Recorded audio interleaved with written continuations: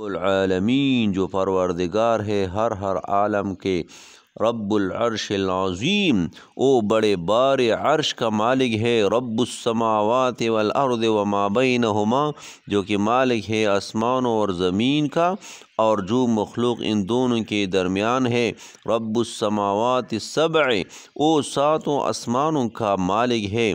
رب المشرق والمغرب، او مشرق اور مغرب کا مالک ہے۔ ربکم و رب آبائکم الاولین، او تمہارا بھی پروردگار ہے، رب ہے۔ اور تمہارے اگلے باپ داتوں کا بھی پروردگار ہے، رب ہے۔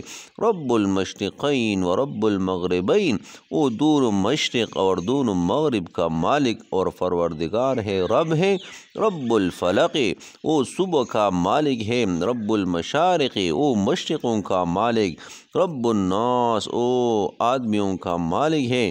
ان اللہ هو الرزاق ذو القوت المتین۔ اللہ خود ہی سب کو رزق پہنچانے والا قوت والا، نہایت قوت والا ہے۔ لا نسألک رزقا، نحن نرزقک۔ ہم آپ سے اور دوسروں سے معاش کموانا نہیں چاہتے۔ معاش تو ہم آپ کو دیں گے۔ اللہ یبسط الرزق لمن یشاء ویقدر۔ اللہ جس کو چاہے رزق زیادہ دیتا ہے اور جس کو چاہے تنگی کرتا ہے۔ واللہ فضل بعضکم علی بعض فی الرزق۔ اور اللہ تعالیٰ نے تم میں بعضوں کو بعض پر رزق میں فضیلت دی ہے۔ ینزل لکم من السماء رزقا، اور وہ وہی جو آسمان سے تمہارے لیے رزق بیچتا ہے۔ وفی السماء رزقکم وما توعدون، اور تمہارا رزق اور جو تم سے قیامت کے متعلق وعدہ کیا جاتا ہے۔ ان سب کا معین وقت آسمان میں ہے۔ اللہ الذي خلقکم ثم رزقکم۔ اللہ ہی ہے جس نے تم کو پیدا کیا، پھر تم کو رزق دیا۔ وصورکم فاحسن صورکم ورزقکم من الطیبات۔ اور تمہارا نقشہ بنایا سو عمدہ نقشہ بنایا۔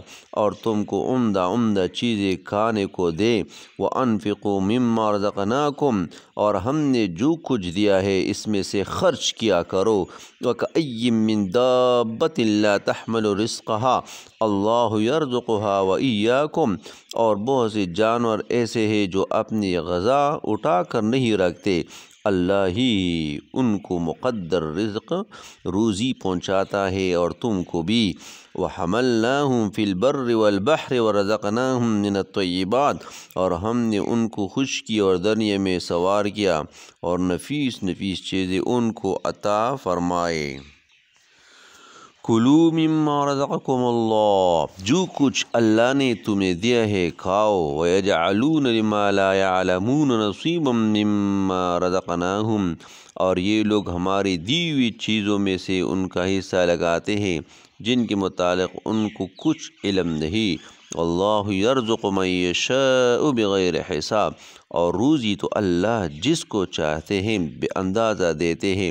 قل من یرزقکم من السماء والارض۔ آپ ان مشرکوں سے کہیں کہ بتلاؤ کہ وہ کون ہے جو تم کو آسمان اور زمین میں رزق پہنچاتا ہے۔